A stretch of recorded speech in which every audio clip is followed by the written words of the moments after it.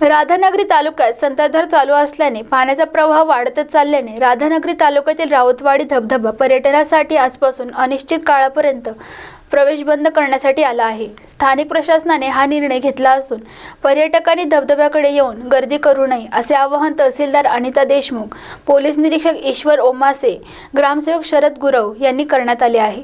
राधानगरी तालुक्यातील राऊतवाडी धबधब्याकडे राज्यासह कर्नाटक कोकण गोवा भागातून पर्यटन येत असतात.